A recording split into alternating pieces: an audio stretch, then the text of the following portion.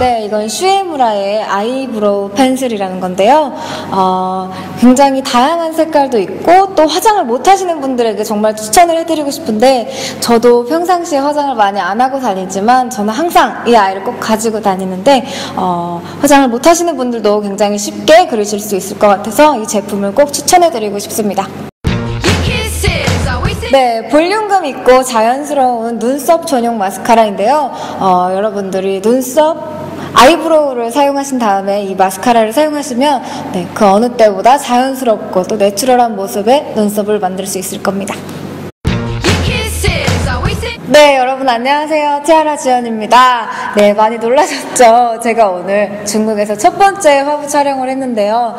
어, 앞으로 2015년에 또 티아라가 무대에서뿐만이 아니라 또 다양한 분야에서 더 좋은 모습으로 인사드릴 수 있도록 노력하겠습니다.